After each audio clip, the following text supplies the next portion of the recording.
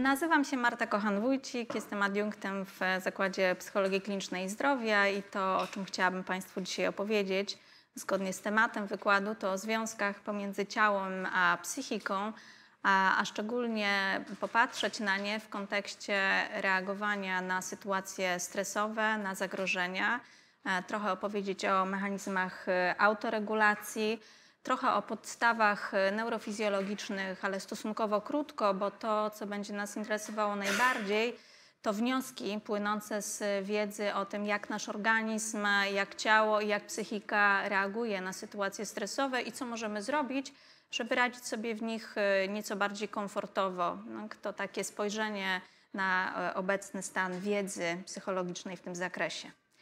E, ale zanim zacznę omówić o tym, jak mm, radzić sobie, to będzie pewien wniosek płynący z tego wykładu, to zaczniemy od nazwania tego, czym jest wydarzenie o charakterze stresowym, czy też o charakterze zagrażającym. Nie będę wnikać w definicję tego, czym jest reakcja stresowa, to jest temat na zupełnie inne spotkanie, ale generalnie, jeżeli myślimy o tym, co stanowi zagrożenie, czy też sytuację zagrażającą, to właściwie jest to każda zmiana, z którą stykamy się w naszym otoczeniu, taka zmiana, którą odbieramy w sposób subiektywnie e, gwałtowny, e, ona jest zaskakująca, dzieje się szybko e, i jest intensywna. A więc coś, co jest trochę nieprzewidywalne w odniesieniu do tego, z czym się stykamy w danym momencie, w danej sytuacji, albo też nie mamy na to wpływu, albo właśnie duża ilość bodźców w danych okolicznościach e, powoduje, że właśnie ta ilość bodźców staje się sytuacją potencjalnie zagrażającą. Co dzieje się w organizmie wtedy, kiedy stykamy się właśnie z takimi zmianami?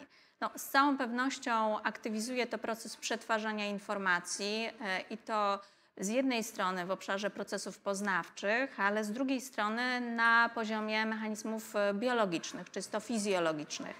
E, w związku z tym mechanizmy, które możemy obserwować w trakcie mm, pojawienia się sytuacji zagrażającej, nazywamy mechanizmami oddolnymi i odgórnymi.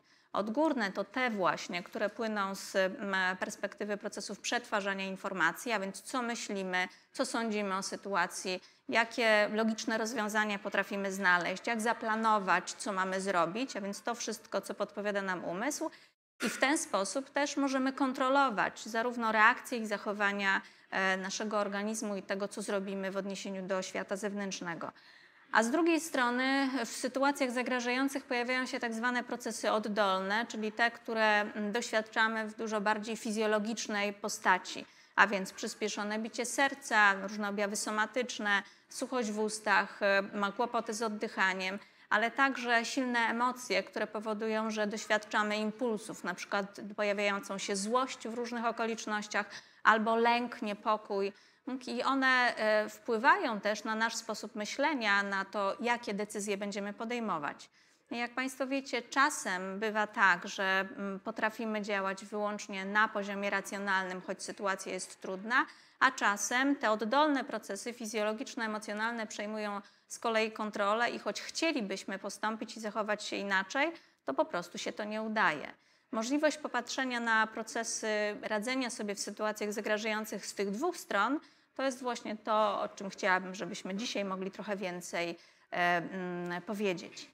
I teraz, jeżeli chodzi zwłaszcza o te procesy oddolne, żeby zrozumieć ich wpływ na sposób przetwarzania informacji, psychologia w dużej mierze e, zajmowała się tymi procesami odgórnymi, a więc tym, co dzieje się na poziomie umysłu także w sytuacjach stresowych. To jeśli przejdziemy do tego poziomu oddolnego, to jest jasne, że w reakcji na zagrożenie kluczowe znaczenie odgrywają zarówno centralne jak i obwodowe ośrodki układu nerwowego, a także wszystkie inne układy naszego organizmu i organy wewnętrzne, e, na które te ośrodki wpływają, impulsy, z których na te ośrodki e, wpływają. Jeżeli by popatrzeć króciutko na właśnie to, co dzieje się z perspektywy neurofizjologicznej, to mm, te mm, ośrodki, które mm, kierują reakcją stresową, zarówno podkorowe, jak i korowe, zajmują właściwie badacze od bardzo dawna tak, w psychologii, w neuropsychologii. E, I to tylko, co chcę króciutko nadmienić, czy też przypomnieć Państwu, to to, że kluczowe w tym zakresie są na przykład spośród ośrodków podkorowych różne struktury układu limbicznego, w tym szczególnie ciało migdałowate, ta malutka struktura właśnie w naszym e, mózgu, która jest centrum pamięci emocjonalnej, która kieruje naszymi reakcjami, ale też ma, ma wiele powiązań z właściwie wszystkimi niemal organami w naszym organizmie. To powoduje, że wpływ e, e, impulsów płynących z ciała migdałowatego jest ogromny. Dlatego mówimy o niej jako o takiej strukturze dowodzącej. E, mm, jeżeli chodzi natomiast o ośrodki korowe, przede wszystkim badacze zwracają tutaj uwagę na znaczenie kory przedczołowej w reakcjach na zagrożenie i w reakcjach także o charakterze emocjonalnym. I właściwie powiązania tych dwóch ośrodków też będą decydowały, jak pokazują badania, w dużej mierze o samokontroli czyli przewaga impulsów z ciała migdałowatego do kory przedczołowej powoduje, że jesteśmy impulsywni, emocjonalni i nie do końca kontrolujemy swoje zachowania, podczas gdy przewaga impulsów płynących z kory czołowej do e, ciała migdałowatego e, będzie decydowała o tym, że e, jesteśmy w stanie myśleć logicznie, racjonalnie, podejmować decyzje jakby z tej perspektywy. A więc tu mamy już całkiem wyraźnie potwierdzone w, w sposób naukowy mm, i obszary, i mechanizmy, te, o których do tej pory w dużej mierze myśleliśmy w kategoriach psychologicznych.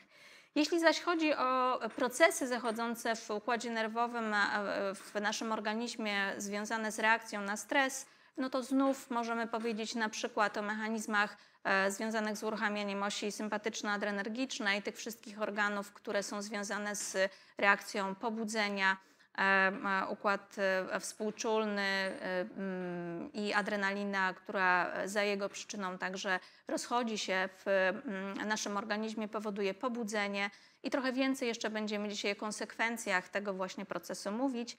Druga oś to oś podzgórze przysadka nadnercza, ta, która uruchamia się nieco później w sytuacji e, reakcji na zagrożenie i bardziej jej funkcją jest nie tyle mobilizowanie do działania, to jest funkcja tej poprzedniej, ale tutaj bardziej kontrolowanie e, reakcji stresowej inicjowanie jej zakończenia.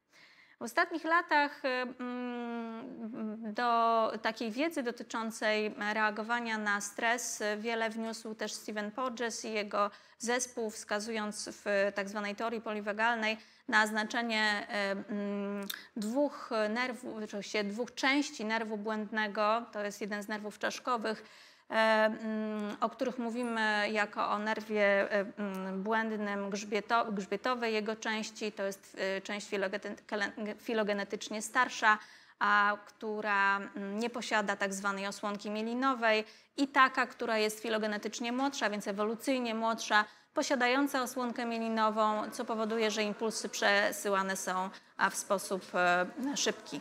A więc grzbietowa część nerwu błędnego filogenetycznie starsza, która zawiaduje takimi reakcjami jak e, reakcja zamierania w obliczu stresu i brzuszna część nerwu błędnego, która zawiaduje takimi reakcjami, które związane są raczej z poszukiwaniem kontaktu społecznego e, i w dużej mierze to jest właśnie coś, co e, pojawia się jako znowu uzasadnienie, dlaczego w różnych sytuacjach stresowych na przykład bardzo chętnie wielu z nas poszukuje kontaktów z bliskimi, telefonu do przyjaciela, no, do rodzica, do partnera, partnerki, bo właśnie wtedy jesteśmy w stanie trochę lepiej poradzić sobie z sytuacją. Te wszystkie mechanizmy, o których Państwu tutaj opowiadam a, i pokazuję je głównie króciutko po to, żeby mieć świadomość, że one mają swoje osadzenie w e, precyzyjnie opisanych przez badaczy mechanizmach fizjologicznych, neurofizjologicznych, choć oczywiście jeszcze wszystkiego o tym nie wiemy i e, to jest ogromne pole badawcze także dla Państwa, żeby e, trochę to rozeznać. Niemniej jednak działanie tych wszystkich mm, organów wewnętrznych i, działanie struktur układu nerwowego wpływa na mm, powstawanie w naszym organizmie tak zwanych programów autoregulacyjnych. One są aktywizowane właśnie wtedy, kiedy pojawia się sytuacja e, stresowa, sytuacja zagrażająca. I to, co jest niezwykle ciekawe, to to, że one właśnie mają taki podwójny charakter. Z jednej strony mają charakter instynktowny, impulsywny. To są zwłaszcza te mechanizmy i dość standardowy, to są te mechanizmy, które, zawiadu, którymi zawiadują ośrodki podkorowe w układzie nerwowym zwłaszcza. No i też mamy mechanizmy racjonalnego działania, podejmowania decyzji w obliczu stresu.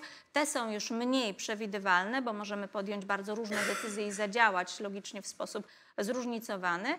E, I to jest to, o czym Państwu mówiłam. Dostępność w naszym organizmie zarówno programów, które pozwalają nam radzić sobie instynktownie, jak i takich, które pozwalają radzić sobie e, z perspektywy e, racjonalnej, logicznego myślenia. Żadna z tych, żaden z tych programów nie jest lepszy ani nie jest gorszy od drugiego.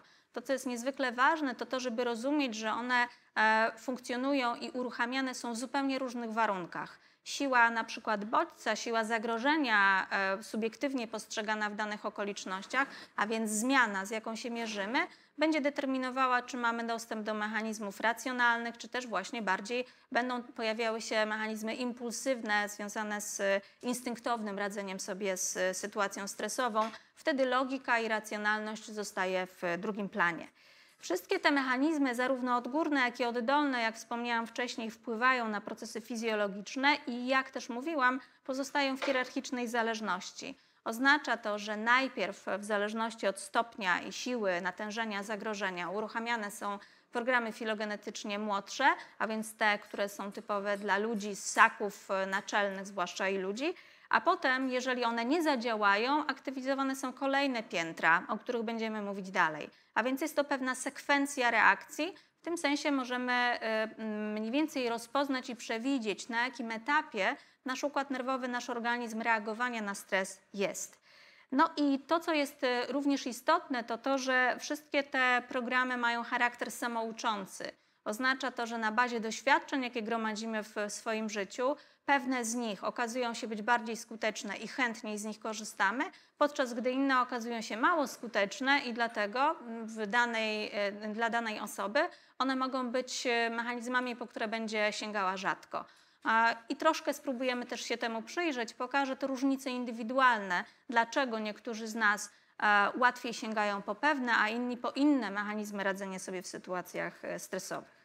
No to teraz e, to, o czym wspomniałam, cykle reakcji na sytuację o charakterze stresowym.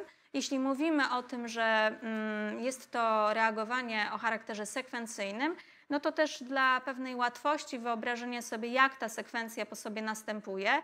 Miejcie Państwo świadomość, że zazwyczaj dzieje się to w bardzo krótkiej porcji czasu, a my będziemy sobie to rozciągać w czasie i przyglądać się temu tak, jakby się to działo bardzo, bardzo powoli. E, ale właśnie, żeby móc to zrobić, to proponuję, żebyśmy popatrzyli sobie na to przy użyciu takiej skali od 1 do 10, gdzie 1 to jest e, właściwie stan takiego spoczynku, pewnego komfortu, równowagi. Tu żaden mechanizm autoregulacyjny nie jest utrzymywany. To jest być może taki stan, w którym część z Państwa jest w tej chwili, e, spokój, poczucie bezpieczeństwa, brak zakłóceń, zmian. A emocje, które się pojawiają, to jest e, być może ciekawość, neutralność, może znużenie, czyli takie, które nie mają wyrazistego charakteru i nic szczególnego w naszym otoczeniu się nie pojawia. To jest to, co dzieje się, kiedy myślimy sobie o tej dolnej części naszej skali. Teraz, e, jeżeli jednak pojawia się jakakolwiek zmiana albo nowy bodziec, to to, co dzieje się w naszym organizmie, to uruchamiana zostaje tak zwana reakcja e, o charakterze orientacyjnym, e, reakcja przygotowawcza. Reakcja przygotowawcza oznacza zatrzymanie dotychczasowej aktywności.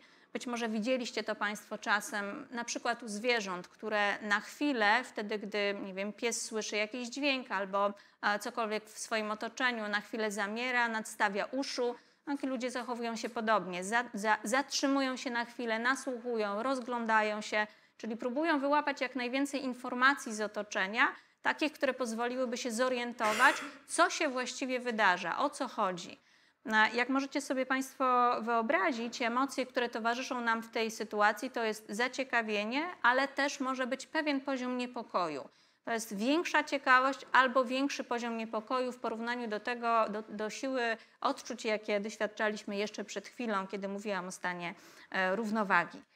E, jednak jeśli tak jest, że mm, ta reakcja orientacyjna o charakterze przygotowawczym ma być skuteczna i ma doprowadzić do tego, żebyśmy, bo to jest program, który się aktywizuje w naszym układzie nerwowym, ma doprowadzić do tego, żeby poradzić sobie z mm, potencjalnym, a, mm, potencjalną zmianą, no, tu zagrożeniem małego stopnia, to z całą pewnością musimy mieć na nią czas. A więc musimy mieć czas na to, żeby się zorientować, rozejrzeć, Także musimy mieć dostęp do informacji, więc muszę mm, wiedzieć skąd dany bodziec dochodzi, że to jest dźwięk, który dochodzi z okna, albo to jest coś, co dochodzi z, z korytarza.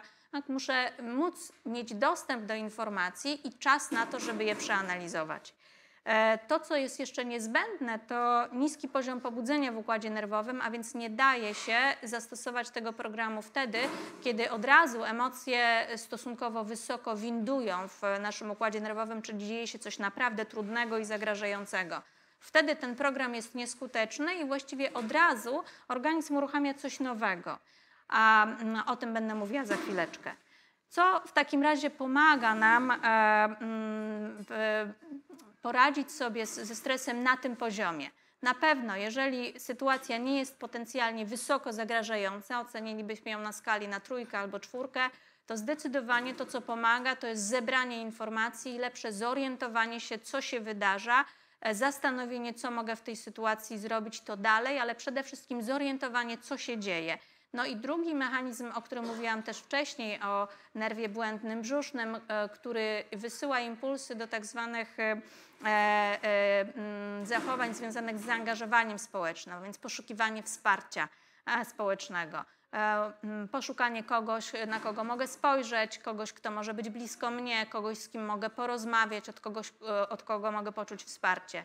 Wiecie Państwo, że tak to działa, jeśli pomyślcie sobie na przykład o małych dzieciach jak małe dzieci, kiedy czują niepokój, a nie mają jeszcze kompetencji orientacyjnych w otoczeniu, bo to wymaga umiejętności przetwarzania informacji na wyższym e, niż całkiem małe dziecko poziomie, to dziecko to, co robi, to się głównie rozgląda za rodzicem, za opiekunem. A chce się przytulić, chce być blisko, chce zobaczyć mamę. Czasem wystarczy popatrzeć i już układ nerwowy się reguluje i staje się to dużo bardziej komfortowe.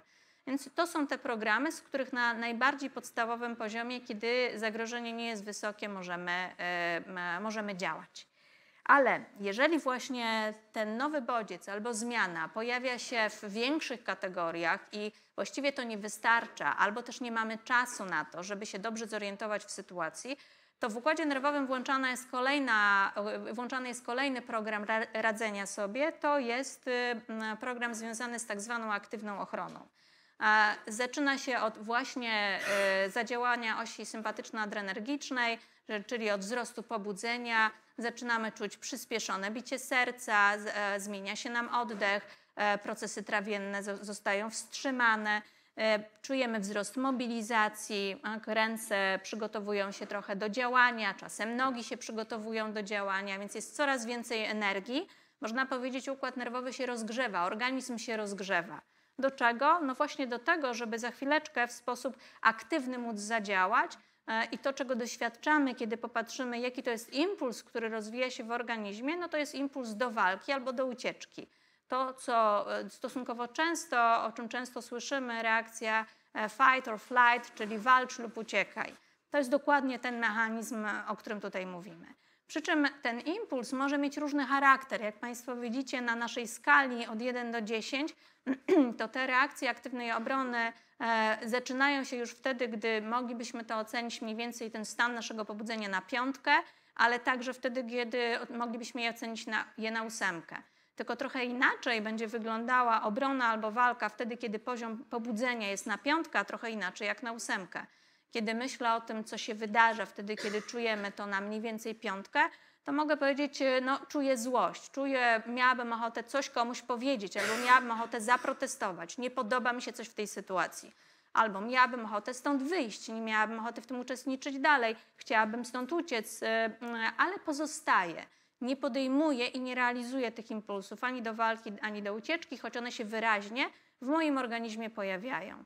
Czasem mogę skomentować jakąś sytuację i to jest to, co dzieje się mniej więcej na piątkę i szóstkę. Kiedy jednak pobudzenie jest nieco wyższe, wtedy reakcje w organizmie także mają zdecydowanie intensywniejszy charakter i e, procedury walki albo ucieczki, jak Państwo wie, wiecie, wdrażane są w życie.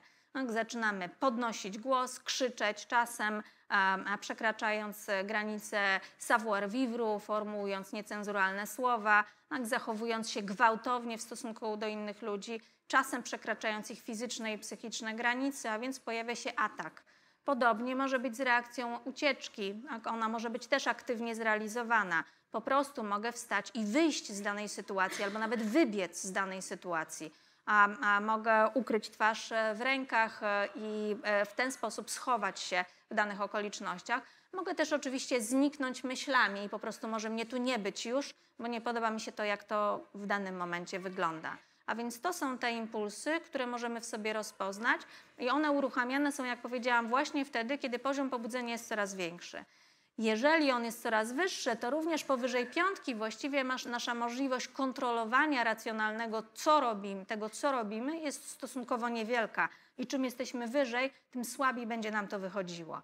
A więc o ile jeszcze, gdy czuję ten poziom pobudzenia na piątkę, mogę sobie czuć impulsy do walki, ucieczki, ale jestem w stanie się skontrolować, dużo impulsów z kory przedczołowej płynie wtedy do ciała migdałowatego, uspokajając je, e, e, a ono przygotowuje już kolejne strategie radzenia sobie z zagrożeniem, to przy szóstce, siódemce albo ósemce impulsy z, z ciała migdałowatego do kory przedczołowej będą zdecydowanie intensywniejsze.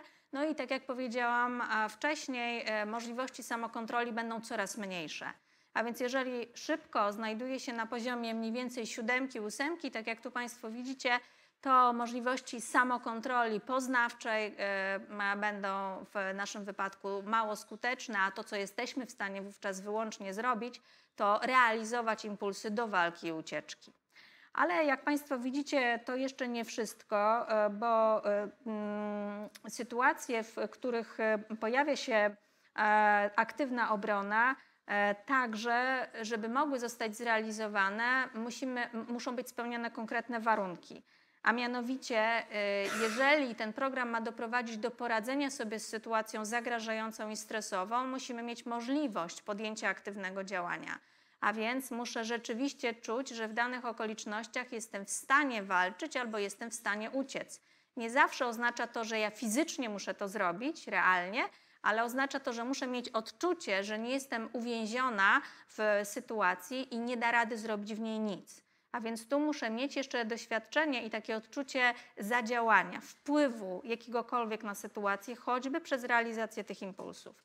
Jeśli tak jest, ten mechanizm będzie skuteczny i e, w większości sytuacji doprowadzi do poradzenia sobie w danym momencie z sytuacją zagrażającą, a potem będziemy mogli na tej e, podstawie e, ochłonąć i, nie wiem, wraca nam racjonalność myślenia, ocenić sytuację, podsumować, co się wydarzyło i zadziałać dalej ale e, okoliczności, w których e, mm, zdarza się tak, że nie mamy możliwości, aby aktywnie walczyć albo aktywnie się e, bronić, jak mówiłam, subiektywne doświadczenie takiego uwięzienia, nawet wtedy, gdy fizycznie mogę wyjść. Na przykład są drzwi, jest okno, mogę zwiać, ale mam poczucie, że nie jestem w stanie tego zrobić, nie wolno mi tego zrobić, ani też nie wolno mi się sprzeciwić osobie, z którą rozmawiam, albo która stoi przede mną, bo postrzegam ją w kategoriach niezłomnego autorytetu, szefa czy kogokolwiek, przed którym nie wolno mi pewnych zachowań okazać, e, to będzie powodowało uruchomienie kolejnych e, sekwencji reakcji na zagrożenie, bo to jeszcze nie wszystko, co potrafi nasz organizm. Te ostateczne mechanizmy, e, takie tak, na tak zwaną czarną godzinę, pojawiają się właśnie wtedy, kiedy postrzegamy e, tą nową sytuację, zmianę w naszym otoczeniu jako potencjalnie bardzo silnie zagrażającą. Często mówimy o niej w kategoriach traumy, ale nie zawsze to jest doświadczenie traumy, o którym powiedzielibyśmy na podstawie literatury. Stosunkowo często to jest takie doświadczenie, w którym mamy poczucie właśnie subiektywnego uwięzienia. Nie mogę zrobić nic, nie mogę walczyć, nie mogę uciekać, nie mogę wykonać żadnego manewru. Oznacza to, że nasz organizm, jak powiedziałam, uruchamia kolejny program, to jest program najbardziej czy najstarszy pod względem filogenetycznym, pochodzący od gadów, e, dlatego taka jego specyfika, bo to jest wchodzenie w tak zwany stan bezruchu. No, jak Państwo pamiętacie, pewnie z lekcji biologii, niektóre gady y, drapieżne nie widziały y, swoich ofiar, kiedy te się nie poruszały. Stąd taki mechanizm, który wówczas filogenetycznie został e, wytworzony no, w kategoriach ochrony przed zagrożeniem. I on również jest w naszym układzie nerwowym dostępny, zarezerwowany jednak na stan najwyższego zagrożenia. Tak zwany stan tonicznego bezruchu to jest właśnie ta sytuacja, w której doświadczam unieruchomienia, nie mogę zrobić nic, często nie mogę nic wypowiedzieć, wydusić z siebie słowa, nie mogę się ochronić. Najczęściej, jak powiedziałam, pojawia się to w sytuacji traumatycznej, na przykład gdy jesteśmy przez kogoś atakowani, choć czasem także wtedy, kiedy postrzegamy daną sytuację jako taką, z której nie ma żadnej możliwości wyjścia, zrobienia czegokolwiek, nie mogę aktywnie działać. Ten toniczny bezruch trwa przez jakiś czas, y, wiąże się z, również z y, fizjologicznymi zmianami, na przykład y, odłączeniem od odczuć natury fizycznej, pojawia się również tak zwane zjawisko anaglezji, możemy nie czuć bólu. No, na przykład takie doświadczenia pojawiają się stosunkowo często na, polach, na polu walki, ale nie tylko tam. Ludzie e, mówią o tym, że e, kiedy zagrożenie było już tak duże, to nawet gdy ich ciało było uszkodzone fizycznie, powinni odczuwać ból, niczego nie czuli i byli w stanie zrobić jeszcze dużo więcej, no, zadziałać w danej sytuacji, albo ochronić się, albo przetrwać, albo przeżyć. Tak, to jest też ten mechanizm, który fizjologicznie w nas się wówczas uruchamia. Od, o, odcięcie od odczuć fizycznych. Także odcięcie od odczuć emocjonalnych. W takiej sytuacji możemy nie czuć nic, czyli nie czuję już ani lęku, nie czuję ani a, niepokoju, ani złości. Zwyczajnie pojawia się poczucie, że do niczego nie mam dostępu. Już jest mi wszystko jedno. To jest ten stan wszystko jedno to chroni organizm, jak Państwo wiecie, przed takim niezwykle silnym doświadczeniem lęku albo złości, bo byłoby to niemożliwe do uniesienia przez e, nasz układ nerwowy. I często, jak też mówiłam, doświadczamy wówczas odcięcia od reakcji motorycznych, czyli nie można się poruszyć, a także wydobyć często z siebie głosu. To są te sytuacje, które potocznie określane mianem zamurowało kogoś tylko często to zamurowanie ma krótkoterminowy charakter. Przez chwilę nas zamuruje, a potem wracamy do aktywności i zaczynamy o czymś mówić. W sytuacjach szczególnie traumatycznych, czyli kiedy stres sięga najwyższego e, poziomu, ma charakter silnie urazowy, to jest mechanizm, który trwa nieco dłużej. I ten toniczny bezruch, o którym e, tutaj mówię, przeradza się w coś więcej, jak w ostatnią fazę radzenia sobie z sytuacją stresową, taką, która jest już e, stosunkowo często postrzeganą przez nasz układ nerwowy, właściwie jest postrzegana przez nasz układ nerwowy jako stan przedśmiertny. E, ale jeszcze chwilę o tonicznym bezruchu. E, co pomaga wyjść z tego stanu? No z całą pewnością to, że dana sytuacja zagrażająca nie trwa długo, a więc czas nam pomaga i czas na to, żebyśmy mogli z niej swobodnie wyjść, czyli to, że nie musimy w danym momencie wykonać konkretnej reakcji i zadziałać. Czyli kiedy to jest rozłożone w czasie, na przykład może nas zamurować z powodu uzyskania czy otrzymania jakiejś wiadomości. Tak, ale wiadomość to jest to, co usłyszę i potem mogę coś zrobić dalej, a więc to mnie nie ogranicza. To powoduje, że mogę wyjść z tego stanu e, bezruchu. Także obniżenie poziomu lęku, a więc kiedy niepokój w danych okolicznościach nie jest zbyt wysoki na przykład otrzymanie jakiejś informacji zaskakującej nawet bardzo, powoduje, że mogę za chwilę rozejrzeć się wokół i uznać, że tu, w tych okolicznościach, w tym miejscu, w którym jestem, jest bezpiecznie. Informacja jest przerażająca, ale ja jestem w tej chwili bezpieczna, co oznacza, że poziom lęku może się obniżyć, a ja mogę wyjść z tego stanu zamarcia i wejść w stan aktywnej obrony, a więc podjąć reakcję mobilizacji, walki, e, ucieczki albo zadziałania w określonych okolicznościach. Także e, wpływają na to nasze przeszłe doświadczenia, a więc to, że w różnych sytuacjach życiowych doświadczyliśmy możliwości działania. Czyli mamy takie doświadczenia na swoim koncie, że potrafię poradzić sobie z sytuacją. Kiedy mam poczucie i takie doświadczenie, i taką myśl na swój temat, ja sobie nie radzę, no to to jest coś, co będzie utrzymywało w dłuższym stanie ten program e, zamierania i ten program tonicznego bezruchu i będzie bardzo trudno z niego wyjść. Dlatego niektórzy ludzie doświadczają stosunkowo często i długo stanu bezradności właśnie i nie mogą z nim zrobić nic dalej, choć zagrożenie, o którym myślą, dla innej osoby wcale nie byłoby takie straszne e, i dałoby się je w jakiś sposób unieść albo sobie z nim e, poradzić. Ale tutaj odzywają się właśnie te nasze poprzednie doświadczenia i albo doświadczenie, w którym radzę sobie, potrafię, mam sukcesy i moja mobilizacja doprowadza do rozwiązania, albo też e, zupełnie nie. No i e, jeżeli ten stan tonicznego bezruchu trwa jednak dłużej, jak powiedziałam, nie da rady z niego wyjść tak szybko, bo te czynniki nie zostają w jakiś sposób spełnione, pojawia się ostatnia faza, tak zwany stan zapaści, związana z pogłębieniem reakcji tonicznego bezruchu. Jest to coś, co przedłuża stan zamierania, odczuwany jest jako zasłabnięcie, upadek, niekontrolowane zaśnięcie, czasem towarzyszy temu trzęsienie się.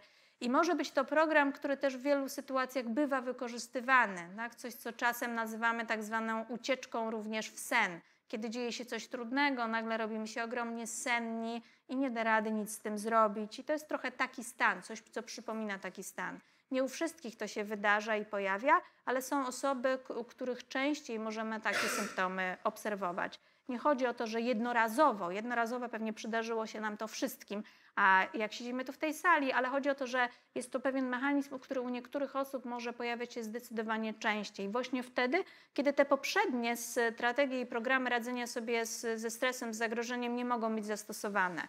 Czyli na przykład w moich doświadczeniach nie ma sytuacji, w których udawało mi się chronić e, moje granice, one były wielokrotnie przekraczane. E, nie udawało mi się walczyć z innymi e, sytuacjami zagrażającymi osobami, które mm, powodowały te sytuacje. W związku z tym dość szybko mój układ nerwowy uczy się wchodzić właśnie w ten stan zamierania, czasem zapaści.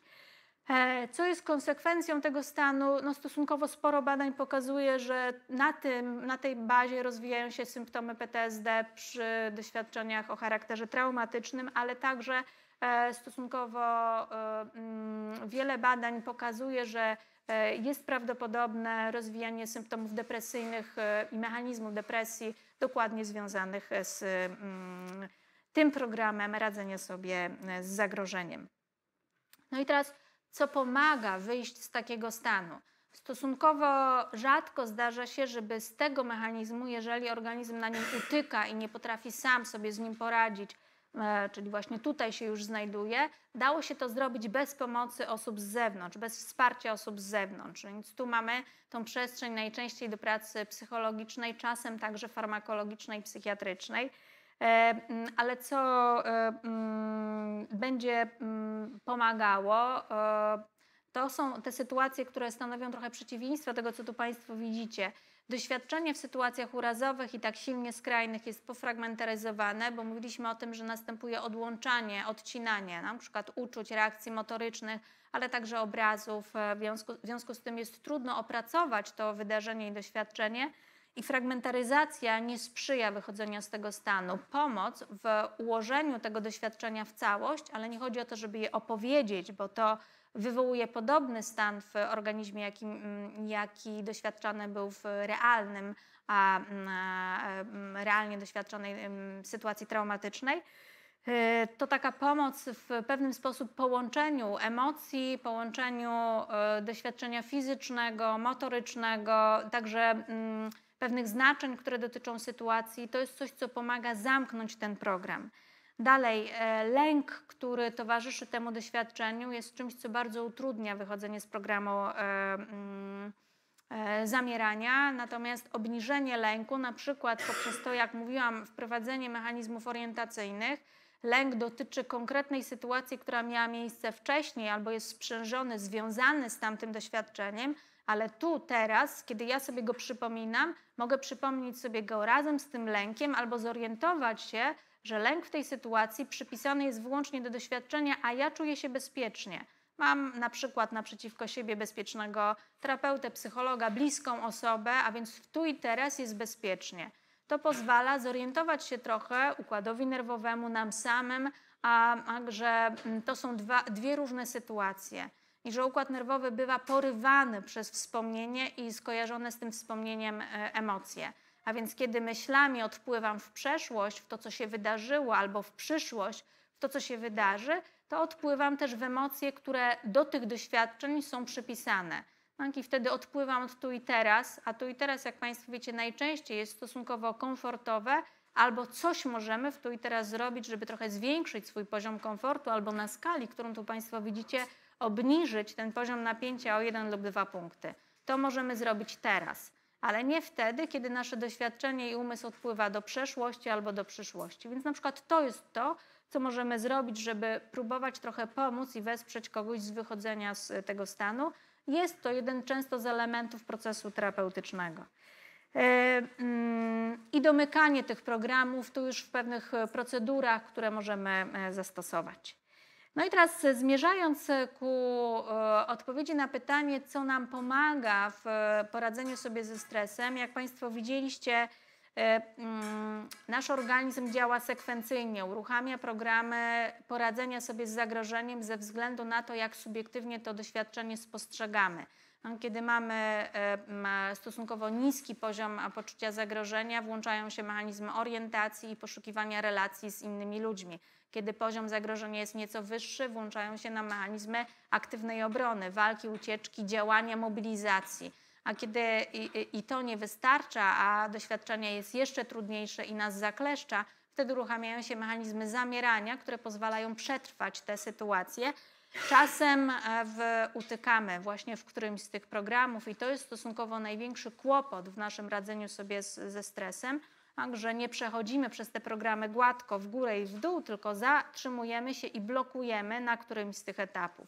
O ile stosunkowo wygodnie zablokować się w mechanizmach orientacyjnych, bo one e, drogą powrotną są bliskie już sytuacji e, wyregulowania i stanowi e, odprężenia, to kiedy zablokujemy mechanizmy radzenia sobie ze stresem na poziomie aktywnej obrony, walki, ucieczki, no to wiecie Państwo, czym to będzie skutkowało. Takim doświadczeniem, w którym permanentnie wiele rzeczy w życiu będzie nas irytowało, złościło, to są symptomy reakcji walki, denerwowało, nie będzie tak, jak powinno być, albo wiele sytuacji w naszym życiu będzie nas przerażało, wytrącało z równowagi, będziemy się ich obawiać, będzie dużo w nas niepokoju.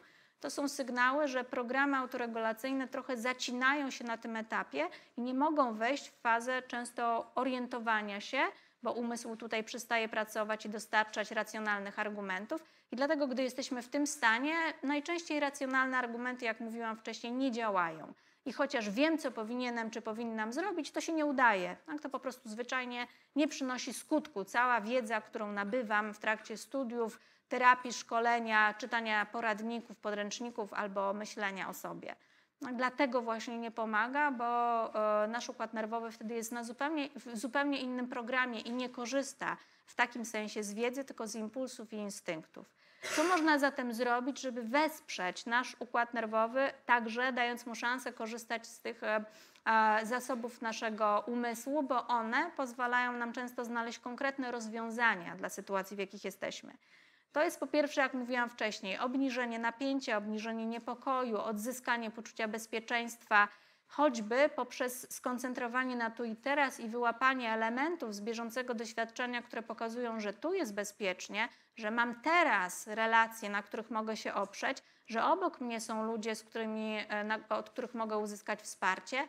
Nie rozwiązanie i nie ratunek, ale wsparcie są obok, blisko mnie, mogę na nich popatrzeć a mogę też odzyskać orientację poprzez zgromadzenie nowych informacji, rozejrzeć się, co już wiadomo, co właściwie się dzieje w tych okolicznościach, co sprawiło, że tak mocno zareagowałem czy zareagowałam na tę sytuację.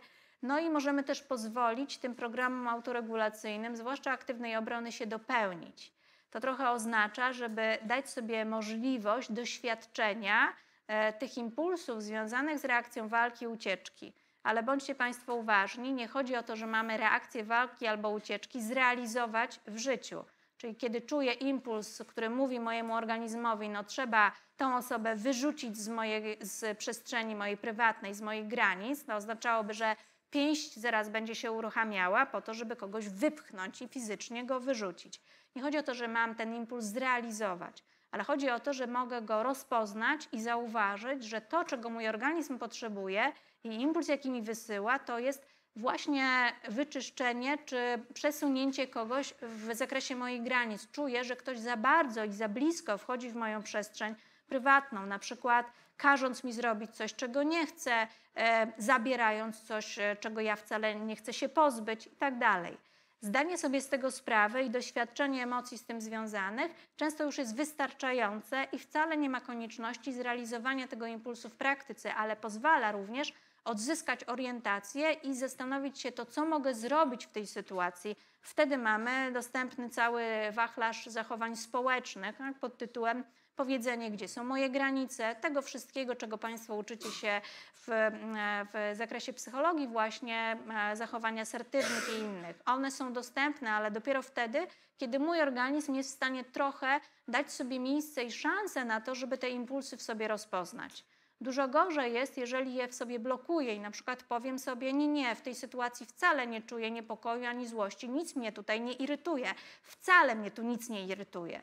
Jak Państwo wiecie, odmawiam sobie tego, co mój organizm mówi. Mówi mi, czujesz się tu niekomfortowo. To nie jest miejsce, w którym masz ochotę być. Mogę się przekonać sama i powiedzieć, nie, nie, to jest miejsce, w którym chcę być, nawet muszę być, bo to decyduje o mojej przyszłości. Ale jak Państwo wiecie, wtedy walkę zaczynam toczyć sama z sobą i to nie pomaga w poradzeniu sobie z sytuacją. Dużo wygodniej byłoby powiedzieć, no tak, to jest miejsce, w którym nie chcę w tej chwili być. Ciekawe dlaczego. Co takiego jest w tym miejscu, co sprawia, że nie mam ochoty w nim być? Co takiego jest w zachowaniach osób wokół, co sprawia, że nie mam ochoty tu być? Co by się musiało wydarzyć, żebym miała ochotę tu być bardziej? Tak? Jak się decyduje w związku z tym postąpić? To daje dużo więcej możliwości i powoduje, że nie muszę toczyć walki z sobą, a, ani zmuszać się do y, robienia czegoś, na co nie mam ochoty, tylko do poszukiwania nowego y, rozwiązania. I to są mniej więcej te reguły i te kroki, o których tutaj Państwo, które tu Państwo widzicie, pomagające przeformułować i poradzić sobie w różnych okolicznościach. No i ostatnia kwestia, jeszcze raz to, co po prawej, o, o czym mówiłam już dzisiaj wielokrotnie, kiedy czuję niepokój, e, czuję potencjalne zagrożenie, pierwszym krokiem, który powinniśmy zrobić, to jest zwiększyć poczucie bezpieczeństwa. E, umieć odpowiedzieć sobie na pytanie, czego potrzebuję, żeby w tej sytuacji poczuć się bezpieczniej. To są bardzo e, proste rzeczy, związane na przykład z tym, żeby stanąć w innej pozycji, kiedy stoję w niewygodnej i trochę się przechylam, albo mam za sobą wyłącznie ścianę, albo siedzę na skraju krzesła, mój organizm nie czuje się specjalnie komfortowo i to powoduje jeszcze większe napięcie. A więc to, co mogę zrobić, to na przykład przyjąć inną pozycję, spróbować rozluźnić część mięśni, poddychać przeponą, która trochę rozluźnia organizm wewnętrznie. Nie robię niczego w otoczeniu, ale robię coś dla siebie w środku, co zwiększa moje poczucie komfortu i bezpieczeństwa. Mogę wrócić do przyjemnego wspomnienia, które przez chwilę zakotwiczy mnie w trochę innym a, a, wspomnieniu. Jak pamiętacie Państwo, wspomnienia uruchamiają w nas konkretne emocje. Tylko po to, żeby odrobinę poczuć się bardziej komfortowo i pewnie. Bezpieczeństwo, relacje, buduję relacje, dzwonię do kogoś, sprawdzam, gdzie są ludzie, z którymi mogę porozmawiać, jestem blisko. To jest ważny. Drugi wątek, do którego nasz organizm jest przyzwyczajony. Myślę o przewidywalności, co mogę zrobić w tej sytuacji, daję sobie czas i dzielę całe doświadczenie na małe porcje. Nie przyspieszam się i nie zmuszam do działania. Organizm, jak wiecie, bardzo tego nie lubi. To jest tak, jak pamiętacie, dzieci są dokładnie e, doskonałymi e, osobami do obserwowania, jak to wygląda. Dziecka nie da się zmusić, żeby bawiło się szybciej, albo posprzątało zabawki szybciej, albo zjadło szybciej. Ono e, idzie za swoim organizmem, za impulsami i wymaga każda z tych czynności odpowiednio dużo czasu. Nie możemy też wyspać się szybciej, niż byśmy chcieli. A więc przyspieszanie nie jest pomocne, dawanie czasu zdecydowanie bardziej. No i zwiększanie orientacji, o czym mówiłam wcześniej, czyli szukanie informacji, co się właściwie wydarza. Nie informacji na temat problemu, to później, tylko informacji dla mnie, co się dla mnie w tej sytuacji, w tych okolicznościach wydarza. I zasoby, o których wspomniałam, zdrowotne, materialne, społeczne i różne psychologiczne, które możemy mm, e, do tego wykorzystać, a także, jak wspomniałam wcześniej, nasze życiowe doświadczenia. Czy mamy więcej doświadczeń, w których jesteśmy w stanie wracać i e, przechodzić przez te mechanizmy autoregulacji i wracać do stanu komfortu i równowagi, tym e, nasz organizm ma e, no, jakby więcej właśnie dostępnych e, takich zasobów, z których później może korzystać. A więc uczymy się też torować te drogi. Jak sobie poradzić w tej sytuacji? Czasem potrzeba, jak wspomniałam wcześniej, pomocy z zewnątrz, pomocy psychologicznej, terapeutycznej, No ale to jest właśnie to, czego Państwo też się tutaj uczycie i w jakich rolach też w przyszłości będziecie mogli występować. Tym samym zmierzam do końca. Dziękuję Państwu e, za uwagę mm, i życzę dalej miłego i owocnego dnia.